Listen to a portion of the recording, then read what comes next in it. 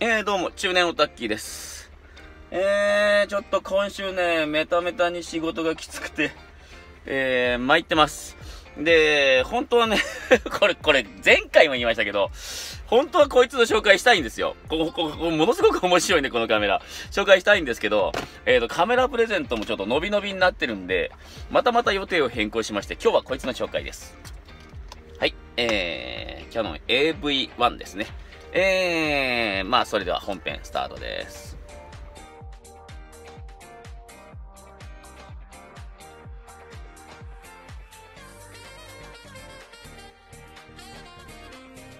えー、このキャノン AV1 なんですけどね、あのー、これキャノン A シリーズの、まあ、待って、まあ、言ったら廉価版のカメラになってくると思うんですけども、えー、キャノン A シリーズっていうのはね、あのー基本的にシャッター優先 AE をベースに作ってる、えー、カメラでして、えー、っと、A1 はまあ両優先、まあ、プログラム。えー、で、AE1 はシャッター優先。AE1 プログラムはシャッター優先とプログラムオート。えー、そんな感じなんですけど、こいつはね、絞り優先オートなんですね。それもね、絞り優先オート専用機なんですよ。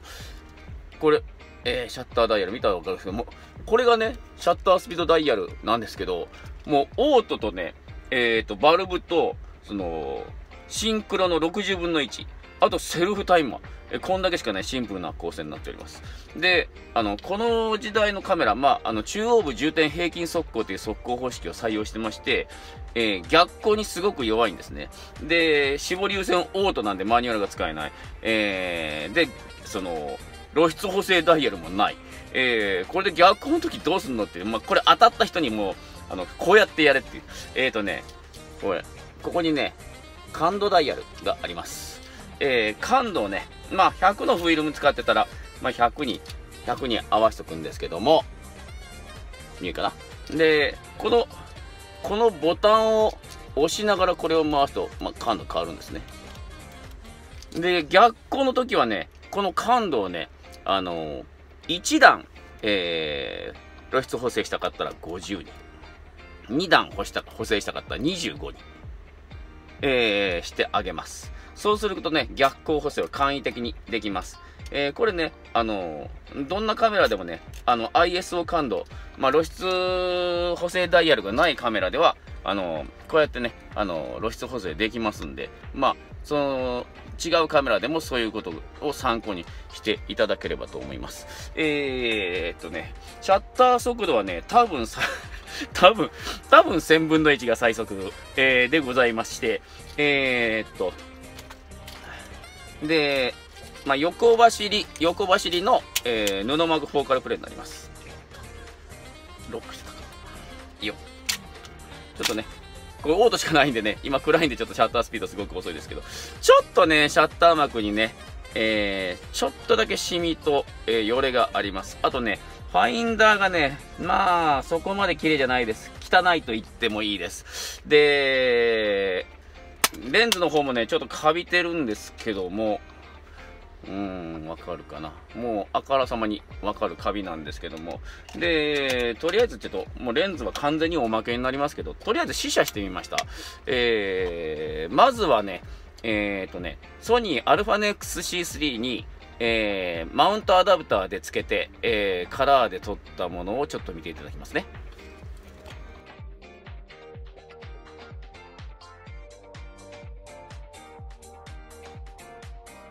えっ、ー、とね、こんだけね、レンズの状態悪いのにね、そんなに影響感じさせないと僕は思うんですけど、ただちょっと私、あのー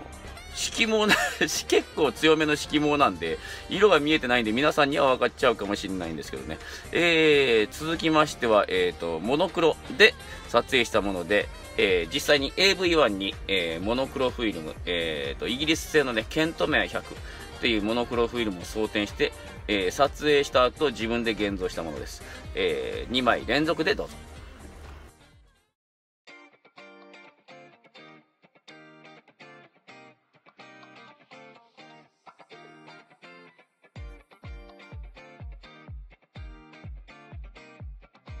えー、モノクロで撮った写真なんですけども、えー、まあ影響、うん、出てないように見えるんですけどね。えー、まあそんな感じでね、そのこの、まあ、まあ、えー、っとね、60分の1にしちゃえ。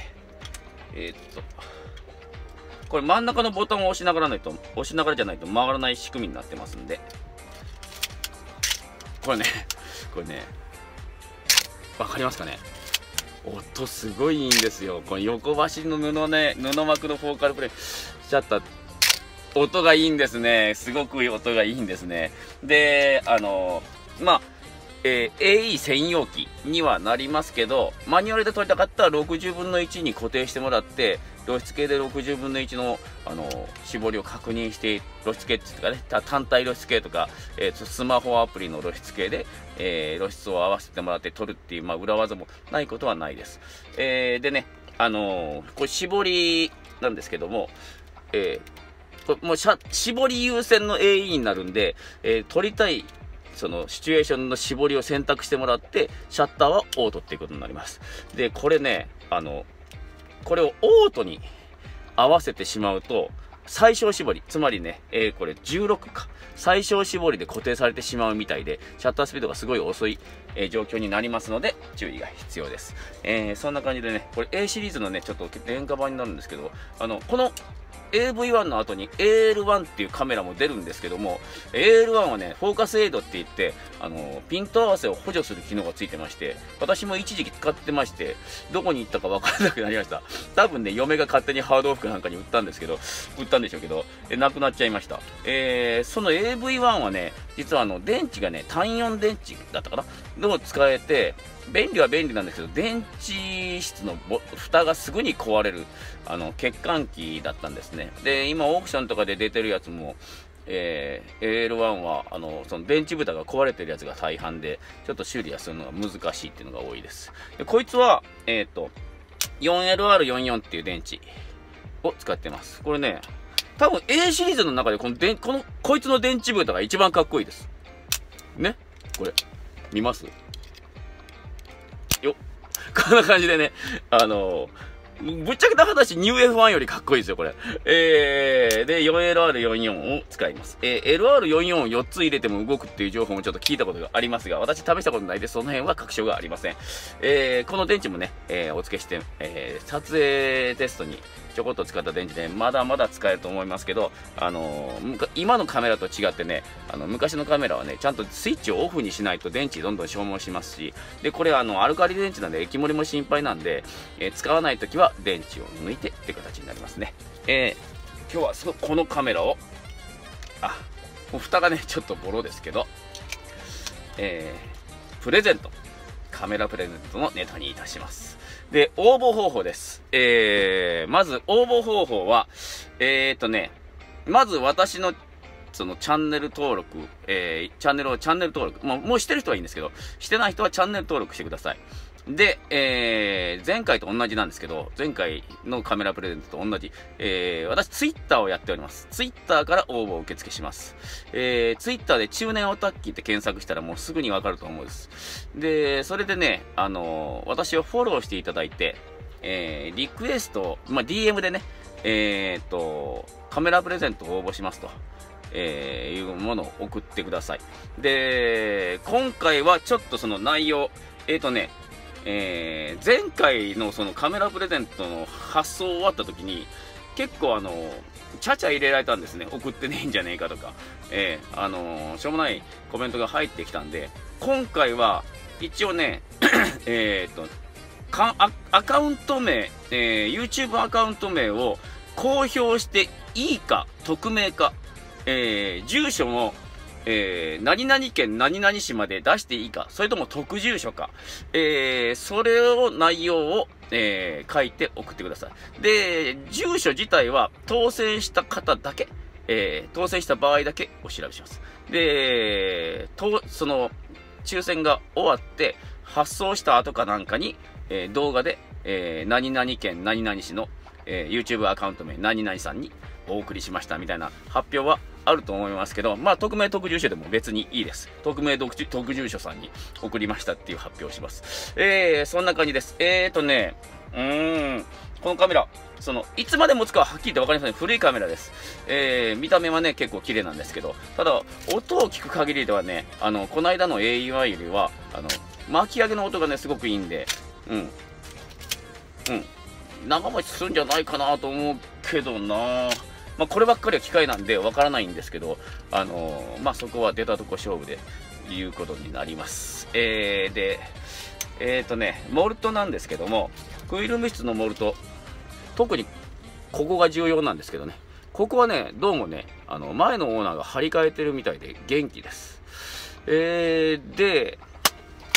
あの、ミラー室、ミラー室のモルトは残念ながらありませんので、あの、私が、あの、まあ、モールトじゃなくてフェルト材ですけど、フェルト材で貼っておきます。えー、そんな感じで、えー、応募受付してます。えー、で、今日が、えー、っと、何日だ ?2019 年の、えー、っと、2月20日。えー、っと、今月いっぱい。